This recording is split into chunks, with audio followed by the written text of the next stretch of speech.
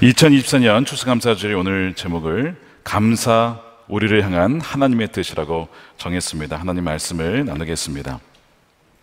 여러분들은 올해 한 해 어떤 것으로 인해 하나님께 감사하십니까? 여기에 다양한 열매들이 나와 있는데 어떤 열매로 하나님께 드리면서 아, 감사하고 싶으십니까?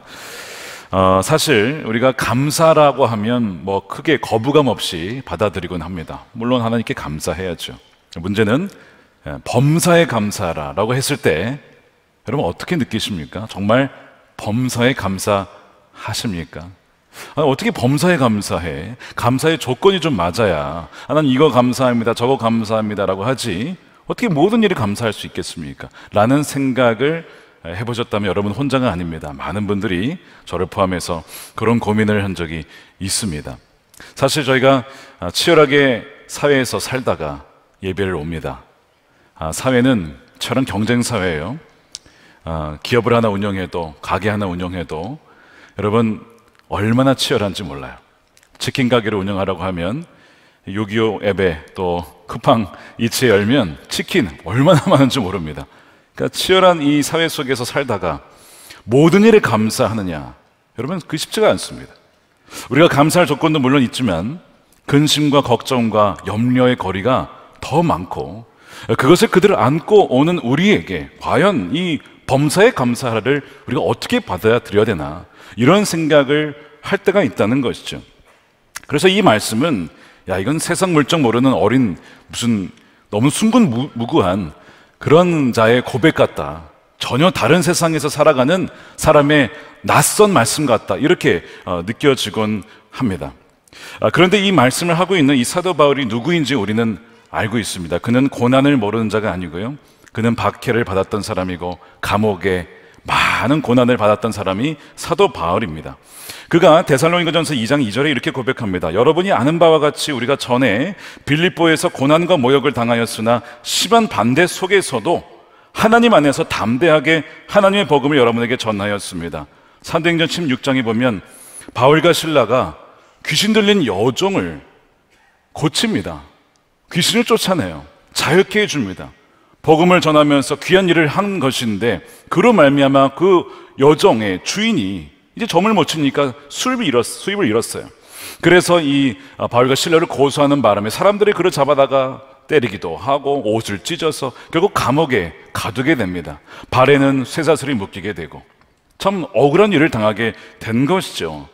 바울의 고난은 여기서 끝나지 않는데요. 고린도 후서에 보면 11장 23절에 보십시오. 나는 수고도 더 많이 하고 감옥살이도 더 많이 하고 매도 더 많이 맞고 여러 번 죽을 뻔하였습니다. 수고와 고역에 시달리고 여러 번 밤을 지새우고 줄이고 목마르고 여러 번 굶고 추위에 떨고 헐 벗었습니다.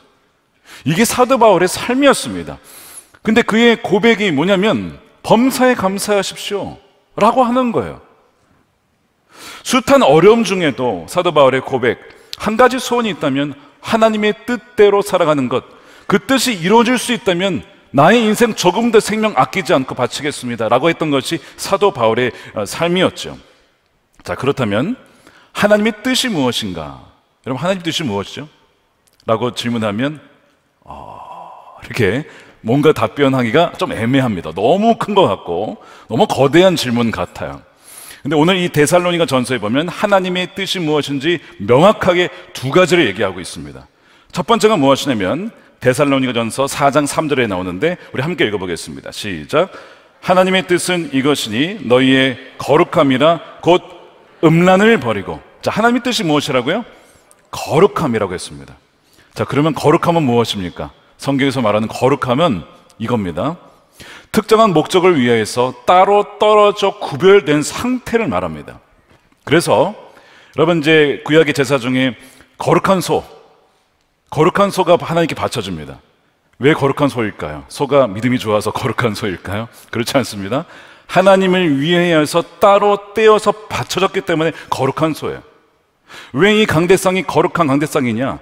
이게 뭐 특별히 더 깨끗해서가 아니라 오직 하나님을 예배하는 데에만 따로 구별되어 바쳐졌기 때문에 거룩한 물건 강대상이 되는 거예요. 자, 그러면 거룩한 남편은 뭘까요? 거룩한 남편, 물론 신앙이 좋은 남편도 거룩한 남편이겠지만 이 정의에 의하면 오직 아내에게만, 한 아내에게만 속하여 아내만을 사랑하고 존귀 여기는 남편이 거룩한 남편입니다. 아내만 바라보는 거예요. 다른 여자에 눈 주지 않고 아내만 바라보는 그 남자 남편이 바로 거룩한 남편인 것입니다. 그래서 이 3절에 음란을 버리라. 어떻게 음란을 버립니까? 아내만 바라보라 이거예요. 그러면 거룩한 남편이 된다는 것이죠. 4절 말씀 보십시오. 각각 거룩함과 존귀함으로 자기의 아내 대할 줄을 알고 그것이 거룩한 남편인 거예요. 싱글 포커스예요. 아내만 주목하는 것. 하나님만 주목하는 것. 그 상태가 거룩한 상태입니다. 자, 그러면 거룩의 반대는 뭘까요? 우리는 거룩의 반대를 뭔가 부정하다, 더럽다, 이렇게 생각하는 경향이 있는데 이 정의에 의하면 거룩의 반대는 범용, 공용, 같이 공동으로 쓰는 겁니다. 이게 거룩의 반대 개념입니다. 무슨 얘기냐면 한 남편이 한 여자에게만 속한 것이 아니라 여러 여자와 공용으로 쓰이는 남편이 된다면 거룩한 남편이 아닌 거죠. 너무나 정확한 명이 아니, 그 정의 아닙니까? 데살로니가 이 배경 당시에 지금이 이제 그리스 북부 지역인데 어, 그 북부 지역 또 남부 지역도 마찬가지입니다. 고린도 지역도 마찬가지로 당시의 문화는 한 남자가 여러 여자를 만나는 거였습니다. 그게 너무나 당연한 문화였어요. 근데 거기에 대해서 하나님 뭐라고 하냐면 바울을 통해서 하나님을 모르는 이방인과 같이 세격을 따르지 마라. 그것은 하나님의 뜻이 아니다. 하나님은 남자 여자를 지으시고 둘을 하나 되게 해주셔서 남편과 아내가 서로만을 배타적으로 사랑하도록 만드신 것이 하나님의 원한이요 그것이 가정의 성경적인 모습이라는 것이죠. 그래서 하나님의 뜻은 너희의 거룩합니다. 라고 말씀을 하면서 하나님의 뜻을 전하고 있어요. 하나님의 뜻은 거룩함인데 이게 다가 아니고 하나가 더 있습니다. 오늘 본문입니다. 5장 18절 개정판을 읽어보면 이렇게 되어 있습니다. 범사에 감사하라. 이것이 그리스도 예수 안에서 너희를 향하신 하나님의 뜻이니라. 하나님의 의지시니라. 하나님의 목적이니라. 라는 뜻입니다. 이 18절은 사실 16절, 17절과 연결된 한 문장입니다. 원래 원어로 보면 한 문장으로 되어 있어요. 항상 기뻐하라, 쉬지 말고 기도하라, 범사에 감사하라가 우리를 향하신 하나님의 뜻이라고 하는 거예요. 특별히 이 마지막에 범사에 감사를 보십시오. 초대 기독교인들, 교인들은 참 많은 박해를 당했는데 사도 바울이 그 가운데서도 범사에 감사하기를 원했습니다. 어, 이것이 하나님의 뜻이기 때문에 그래요.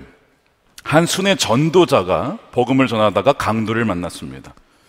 강도에게 자신이 가진 것을 다 뺏겼어요. 여러분, 강도 만나면 감사할 수 있겠습니까? 못하죠. 하나님 내가 이렇게 하나님 대신해서 복음을 전하고 있는데 아, 강도를 안 만나게 해주셔야 감사한 것이지 아, 강도 만나면 어떡합니까? 라고 보통 반응할 거 아닙니까? 근데 이분이 이 말씀 오늘 대살로전서 5장 18절 말씀을 생각하고 이렇게 감사합니다. 첫 번째, 주님, 제가 지금까지 평생토록 한 번도 강도를 당한 적이 없음을 감사드립니다. 두 번째, 주님, 지갑은 빼앗겼지만 제 목숨은 빼앗기지 않음에 감사합니다. 세 번째, 주님, 강도가 제 지갑을 가져갔지만 지갑에 별로 든 것이 없어서 감사합니다. 사람은 잘못 골랐어. 전도자를 골랐어. 아예 돈이 없죠, 별로.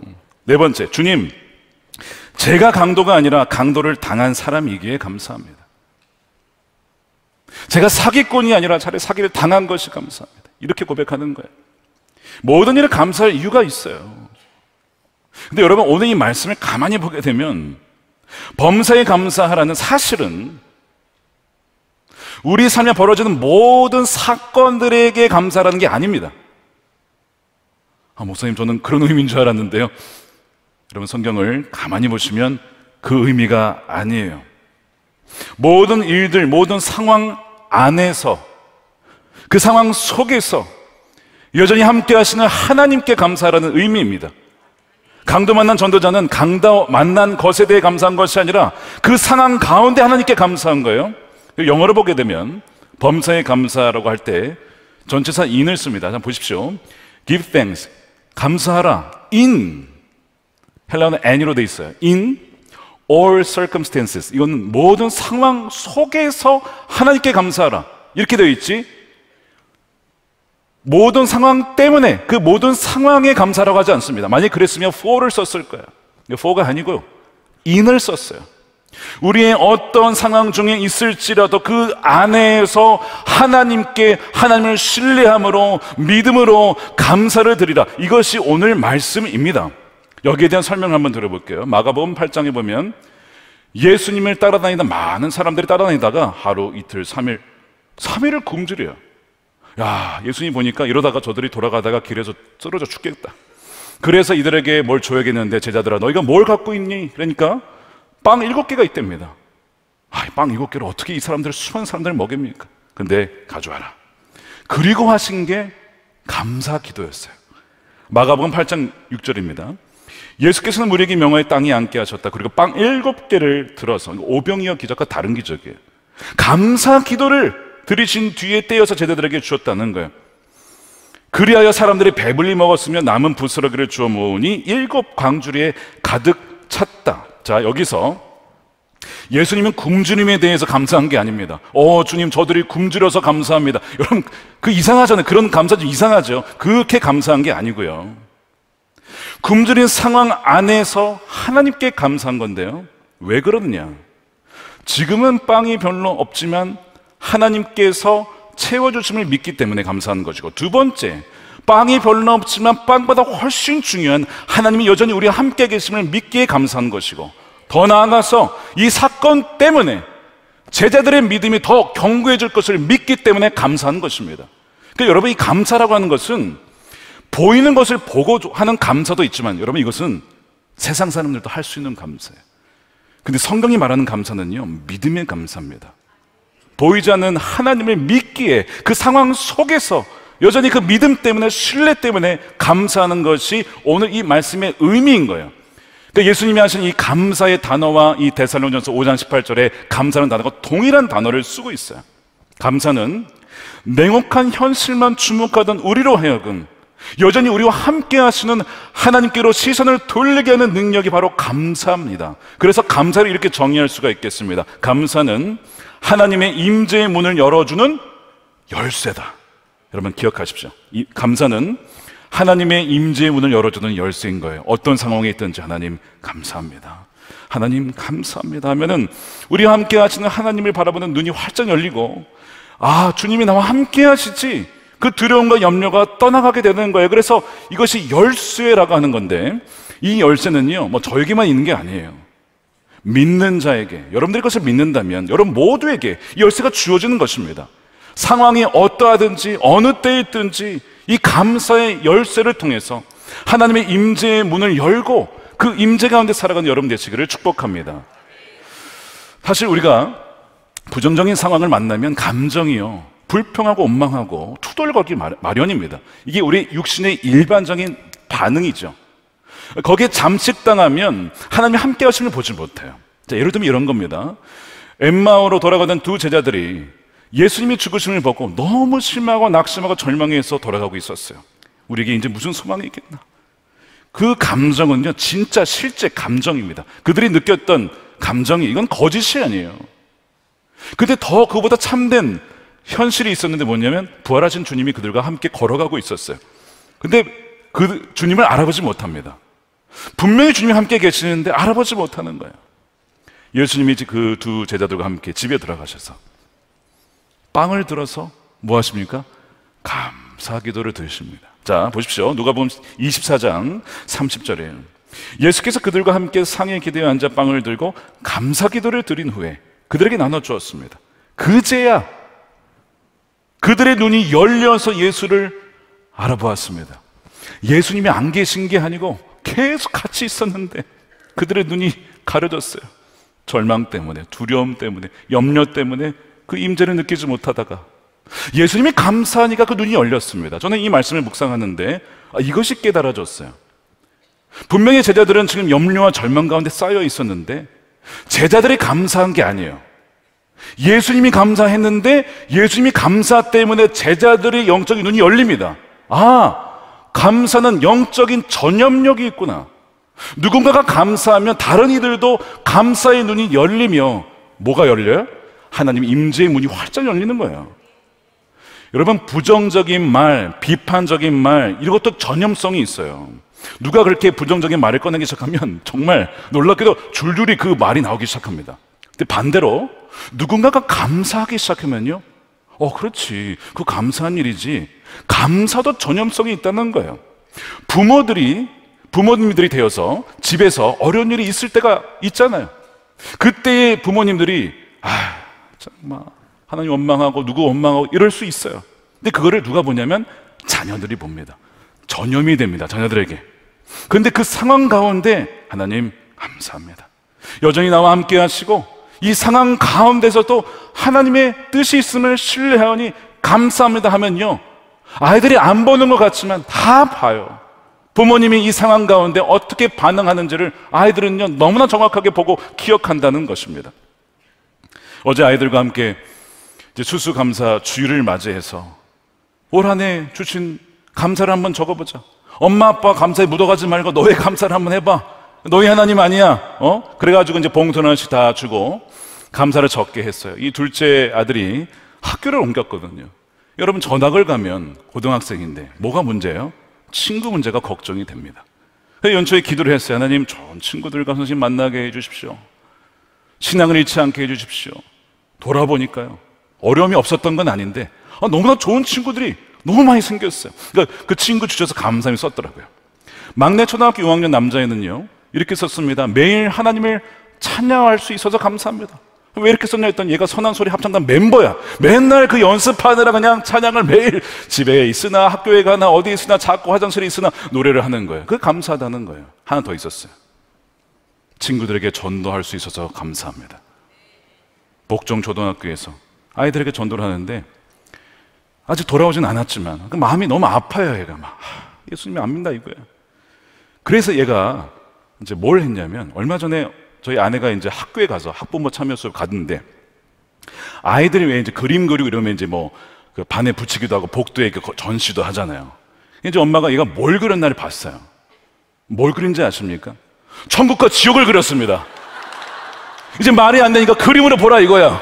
그래가지고 위에는 천국, 아래는 지옥. 회개하라 천국에 가까이 왔느니라 이러면서 이제 복정초의 세례 요한으로 불릴 것 같습니다. 제가 그거를 카톡으로 카톡으로 제가 그걸 보고 아, 뭐 이런 놈이 다 있나. 저도 이러진 않았거든요. 야 이런 담대함이 어디서 나왔을까 아, 생각하곤 했는데 그 기도 제목을 보니까 너무 감사한 거예요. 복음을 전한다는 것이 당연한 거 아니거든요. 그래서 우리 아이들하고 손을 잡고 기도했습니다.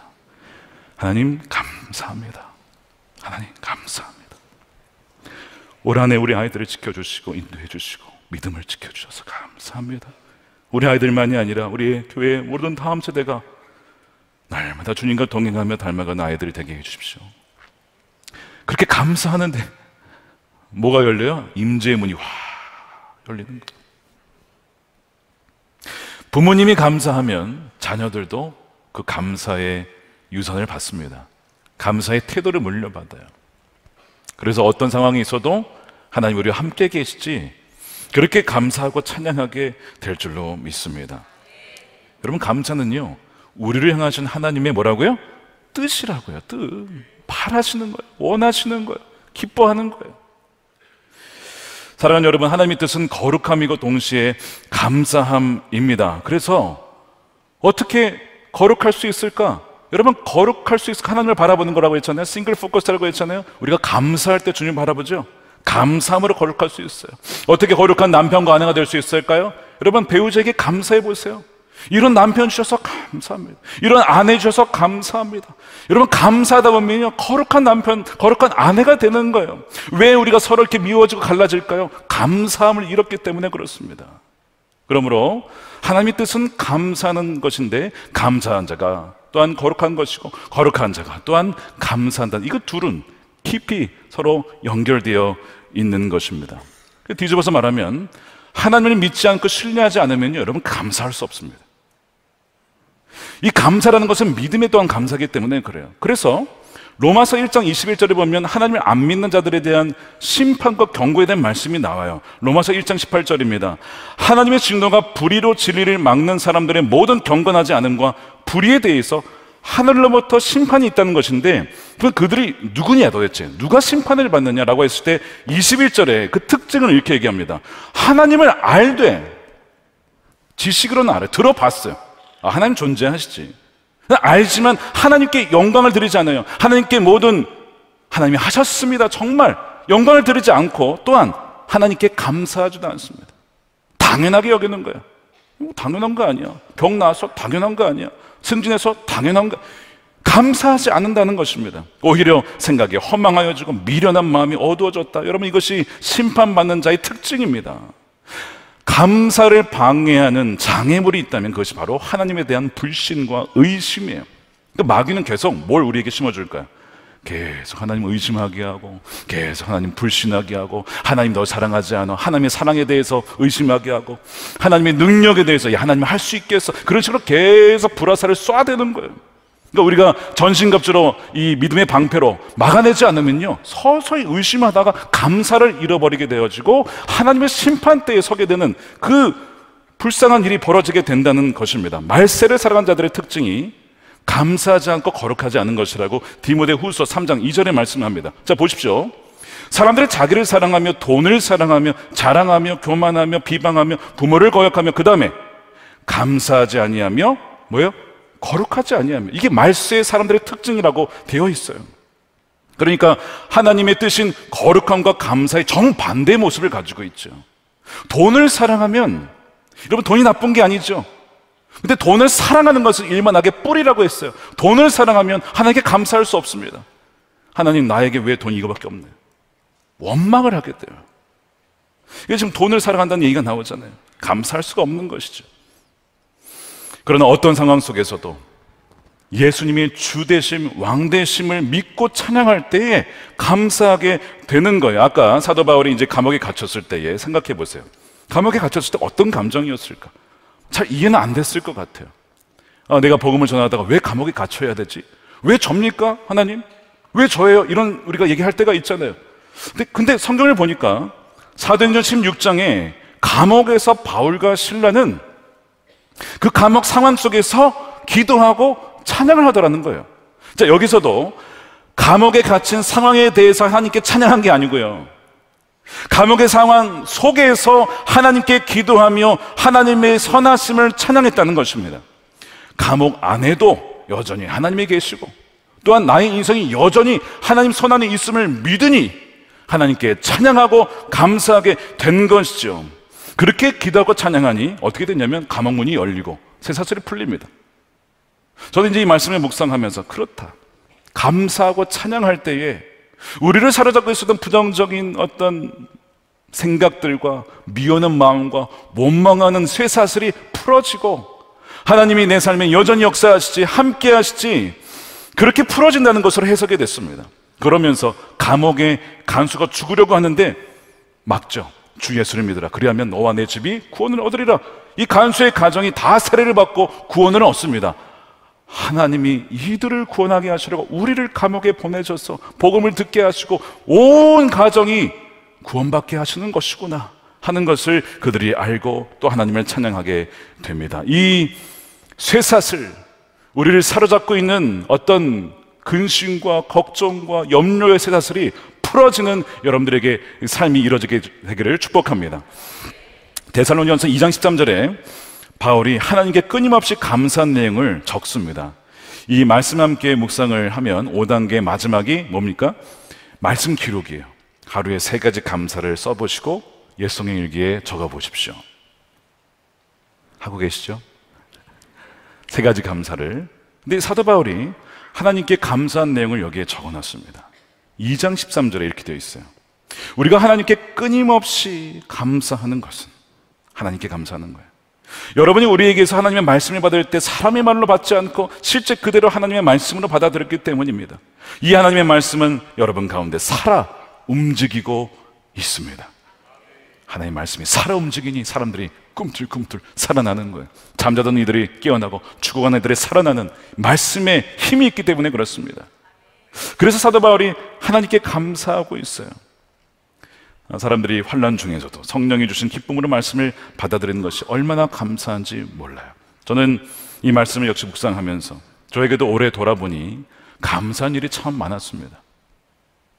올해 담임 목사로 2년차를 맞이하면서 미숙하고 부족한 부분이 참 많이 있습니다. 그런데 저를 여전히 담임자로 받아주시고 믿어주시고 따라주시는 우리 장로님들과 또 우리 성도님들께 참 감사합니다. 올로 목사님의 원숙하고 풍부한 경험 속에서 나오는 분별력과 판단력이 저는 참 부족하지만 그럼에도 불구하고 하나님께서 세워주셨다라고 믿고 또한 하나님의 말씀의 사역자라고 믿고 사람의 말이 아니라 하나님의 말씀으로 믿고 아멘하여 그렇게 변화되어지는 가정을 볼 때마다 저는 끊임없이 하나님께 감사할 수밖에 없는 거예요. 저에게 가끔 쪽지나 편지나 이메일을 주시는 분들이 계십니다. 그 중에는 어떤 분들은 정말 정신이 번쩍 날 만한 조언을 주신 분도 있고 어떤, 분은 정말 눈물이 날 만큼 고마운 또한 감사와 격려의 편지를 주신 분들이 있습니다. 저는 둘 다 감사해요. 조언에 대한 부분은 저로 하여금 더 겸손히 하나님의 지혜를 구하고 또한 저희, 제가 보지 못했던 부분도 받아주시게 하시고 그래서 하나님께 나아가서 엎드릴 수 있도록 인도해 주시기 때문에 감사하고 격려 주시는 것은 제가 너무 낙심하지 않도록 저에게 하나님께서 사람을 통해서 격려해 주신다라고 믿어지게 또한 감사하게 됩니다. 저도 격려를 받아, 보니 사람인지라 기분이 좋더군요. 여러분 고래가 칭찬받으면 어떻게 한다고요? 춤을 추다고 했는데 저도 칭찬받으면 춤을 추기 시작합니다. 근데 그게 중요한 게 뭐냐면 왜 기쁘냐면 이거예요. 사람의 말이 아니라 하나의 말씀으로 받은 그 성도님들의 그 믿음에 대해서 하나님 그 믿음 주셔서 감사하고 또한 그렇게 써주셔서 감사합니다. 그래서 감사한 거예요. 몇 개월 전에 어떤 분이 비서실에 전화를 주셨어요. 저희 교우는 아니신 것 같습니다. 이렇게 연락을 하신 거예요. 금성 예배를 통해 한 가정을 살려주셨습니다. 세상에 푹 빠져 있는 남편 때문에 너무나 좌절했는데 이 좌절한 영혼을 살려주셨습니다. 그날 그 예배가 사람과 가정을 살려주신 예배입니다. 감사합니다. 이 내용을 해주시고 저희 전사님이 포스트잇에다가 그 내용을 핵심 내용을 정리해서 저에게 주셨어요. 제가 그것을 버리지 않고 제 책상에 붙여놨어요. 왜 붙여놨는지 아십니까? 매주 주일 예배와 금요 성경 집회에 오신 분들 중에 정말 낙심하고 절망하고 오늘이 마지막이다 싶은 분들이 오는데 주님, 저의 말이 사람의 말이 되지 않고 하나님의 권능의 말이 되어서 그 가정을 살리고 영혼을 살리는 말씀이 되게 해주십시오. 그것을 상기시키기 위해서 말씀을 붙여 놓는 거예요. 그래서 줄 말씀을 준비할 때마다 기도하면서 그 영혼들을 위해서 기도하기 위해서 또한 하나님의 격려의 말씀으로 잘하고 있다라고 하는 것을 상기시키기 위해서 그 쪽지를 붙여 놨어요. 이메일을 주신 분이 있습니다. 주님을 오랫동안 떠나 있다가 전도를 받아서 2019년에 우리 교회 등록을 하셨는데 어, 얼마 안 돼서 코로나가 돼서 예배를 못 드리게 된 거예요. 그러다가 이제 이 우울증이 더 심해지셨어요. 그러다가 권면에 의해서 올해 1월부터 어, 성령 집회에 오시게 되었는데요. 하나님 대해서 너무 이분이 몰랐다는 거. 오해도 많았고, 하나님 대해서 알고 싶지만 잘못 알고 있는 것도 많았고, 근데 하나님에 대한 갈급함은 너무 갈급하니까 이분이 내가 정말 주님을 알고 싶습니다. 주님이 나와 함께 하신 줄을 알고 싶습니다. 그래서 오신 거예요. 그랬다가 안수 기도까지 받아줬어요. 기도해 드리는데 이분의 고백이 정말 너무 막 우시는 거예요. 눈물을 흘리면서. 근데 나중에 그분의 고백이 성령의 임재가 뜨겁게 자신 가운데 역사했다는 거예요. 그러면서 주님이 주시는 마음이 있었대요. 그리고 이렇게 고백하시는 겁니다. 이제는 주님이 제 곁에 계신 것이 믿어집니다. 그래서 매일 감사합니다. 자, 뭐 때문에 감사하다고요? 주님이 매일 저와 함께 계심이 믿어져서 감사하다는 거예요. 그동안 저 때문에 눈물 흘리셨을 주님이 느껴집니다. 기도해 주신 목사님 감사합니다. 기도하는 성도가 되겠습니다. 저는 이 이야기를 종종 생각하면서 늘 기도해요. 기도할 때마다. 주님, 사람의 기도가 아니라 주님께서 친히 저들을 안수하여 주시고 주님께서 친히 말씀하여 주셔서 듣는 사람마다 하나님 이 믿음의 기도를 통하여 회복되어지고 주님께 돌아가는 은혜를 주시옵소서. 그 은혜를 기억하면서 믿음으로 기도를 하게 됩니다. 얼마나 올 한 해도 하나님께서 써주셔서 감사한지 모릅니다. 사도 바울이 늘 좋은 일만 있었기 때문에 감사한 것이 아닙니다. 어려운 일이 참 많았어요. 근데 어떻게 그렇게 아, 어떤 그런 상황 속에서 기, 어떤 감사할 수 있었을까요? 그 이유가 오늘 18절에 나옵니다. 범사에 감사하라 이것이 그리스도 예수 안에서 너희를 향하신 하나님의 뜻이니라. 여러분 키는 바로 그리스도 안이라는 이 단어에 있습니다. 이게 무슨 뜻이냐? 그리스도 주님께서 모든 것을 주관하고 계시고 하나님의 보이지 않는 손길로 우리의 삶을 섭리하고 계심을 믿기 때문에 그 하나님의 선하심을 믿기 때문에 감사한다는 뜻입니다. 우리가 볼 수 없는 더 큰 그림의 일부가 있음을 신뢰하기에 우리는 어떠한 상황 중에도 감사할 수가 있는 것이죠. 그래서 감사는 믿음의 또 다른 표현입니다. 여러분 아까 감사가 뭐라고 했어요? 하나님의 임재의 문을 여는 열쇠입니다.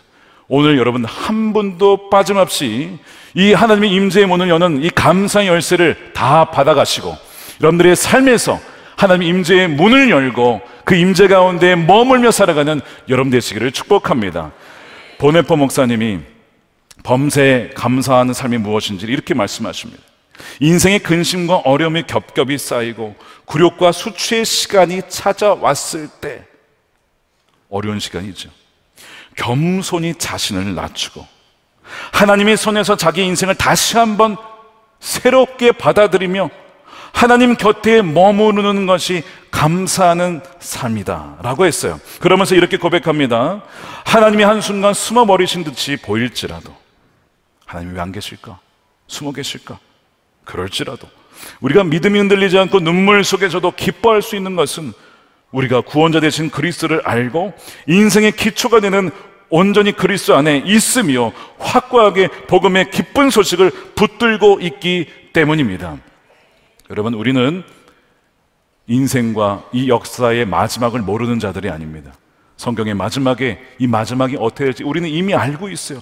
알고 오늘을 살아가고 있습니다. 그러므로 하나님께서 이미 예비하신 그 유업과 영원한 나라와 사망의 끝이 아니라 그 사망 이후에 천국과 지옥이 있고 또한 새하늘과 새 땅, 부활이 있음을 믿기 때문에 우리는 어떤 상황 중에도 감사할 수가 있는 것입니다. 하나님, 감사합니다. 우리의 삶을 주님께서 주관하고 계시니 감사합니다. 이 감사로 하나님께 기쁨이 되어지는 여러분들이 되시기를 축복합니다. 오늘 우리 추수감사절을 맞이해서 우리 감사 증인을 어, 초대합니다. 우리 김홍중 권사님 자녀의 병으로 인한 참 어려운 위기 속에서 하나님께 주신 은혜를 나눠 주실 텐데 우리 나오실 때 박수로 맞이해 주시길 바랍니다.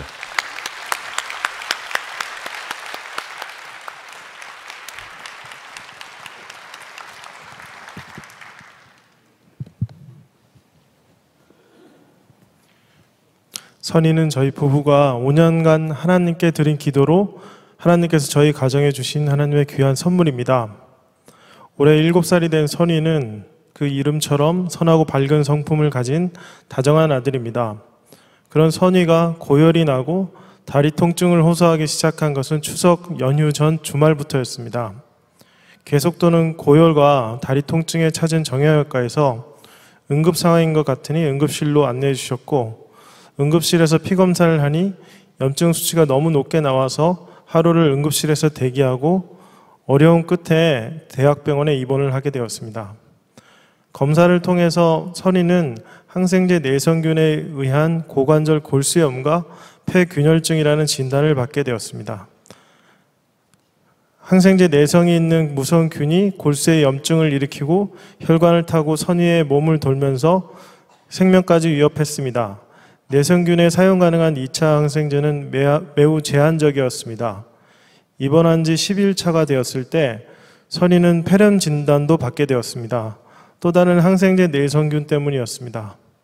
무엇보다 무서웠던 것은 항생제 부작용이었습니다. 이번 기간 중에 항생제에 대한 부작용이 세 번 연달아서 발생했습니다. 부작용이 가장 심했던 9월 26일에는 산소호흡기를 착용하고 의료진들이 주야를 가리지 않고 대기하고 진료하면서 응급 상황에 대비하였습니다. 뇌출혈의 위기가 왔고 혈소판 수혈도 받았습니다. 급박한 상황 속에서 선의와 저희 가정을 붙들어 주셨던 건 많은 분들의 간절한 중보 기도였습니다. 지역, 지역의 속장님들께서 계속해서 기도해 주시며 매일 저녁 줌 기도회로 모여 선의를 위해 기도해 주셨습니다. 아내의 동기 권사님들, 유치부 전도사님, 선생님들, 그리고 선의가 다니는 학교 선생님들, 학생들, 학부모님들도 선의의 회복을 위해서 간절히 기도해 주셨습니다.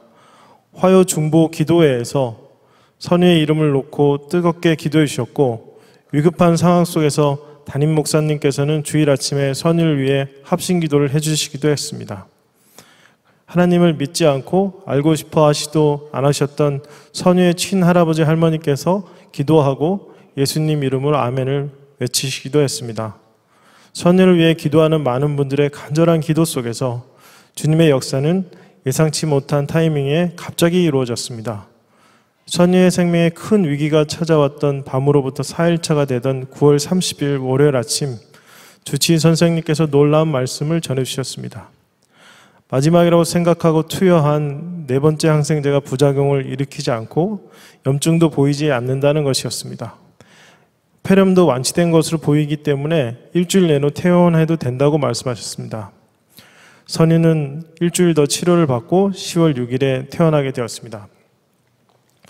이번 일을 통해서 느끼게 된 것이 있습니다.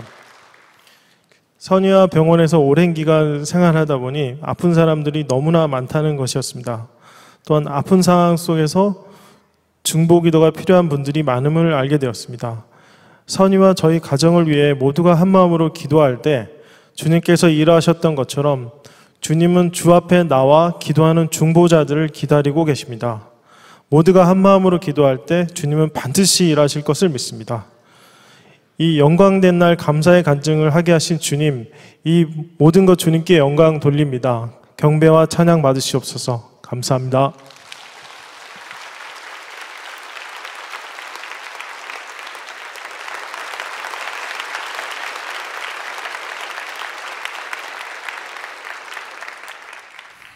다시 한번 우리 선유를 위해서 기도해 주신 우리 유치부의 선생님들, 속장님, 소건들, 지역장님, 또 학교 선생님들, 친구들 너무나 감사합니다. 음, 9월 29일이었던 것 같습니다. 주일날 아, 3부 예배를 마치고 담임 목사실에 찾아오셨어요. 병원에 갈 수 없었기 때문에 지역장님과 속장님과 소건들이 같이 와서 매일마다 줌으로 기도해 주셨는데 그날 줌으로 선유와 연결을 해서 온라인을 통해서 선유를 위해서 기도하는데 선유가 그랬어요. 오늘이라도 주님께서 나에게 말씀하시면 제 병 나을 수 있습니다. 그게 선유의 믿음이었어요. 제가 그 믿음을 듣고 그 고백을 듣고 선유의 병 나을 낫겠다. 주님께서 치유하신다. 그렇게 기도를 하고 다음날 아, 바른 항생, 항생제를 통해서 치유가 되고 일주일 뒤에 퇴원을 하게 되었습니다. 지난 그 과정을 쭉 보니까 그 아플 때는 도무지 왜, 왜 보이지 않았는데 지금 돌아보니까 우리 권사님 고백하셨지만 참 놀란 일들이 많았어요. 하나님을 알고 싶지도 않았던 할아버지, 할머니의 입술을 통해 예수님의 이름으로 기도하게 하셨잖아요. 오늘 3부 예배 오셨습니다. 할아버지, 할머니 오셔서 같이 예배 드리고 또 선이가 나왔어. 왔어요, 오늘. 선이 위해서 다시 기도해 드리고, 기도해 주고, 온 가족이 함께 예배할 수 있도록. 아, 하나님이 이 모든 것을 우리는 그거밖에 안 보이지만 하나님이 더 보이지 않은 우리는 더 볼 수 없죠. 더 보이지 않은 그 하나님의 큰 그림 가운데 이것이 있었음을 보게 된 나르기에 더 감격스러운 것이죠. 사랑하는 여러분, 그래서 뭐라고요? 모든 상황 속에서 감사하라. 이것이 너희를 향한 하나님의 뜻이니라. 사랑하는 여러분, 어떤 상황 속에 있을지라도 범사에 감사하는 저와 여러분 되었으면 좋겠습니다. 그래요. 감사로 하나님의 임재의 문을 활짝 열고 여러분들의 가정과 일터와 일상에서 늘 하나님의 임재 가운데 찬양하며 살아가는 저 여러분들의 삶이 되시기를 주님의 이름으로 축원드립니다.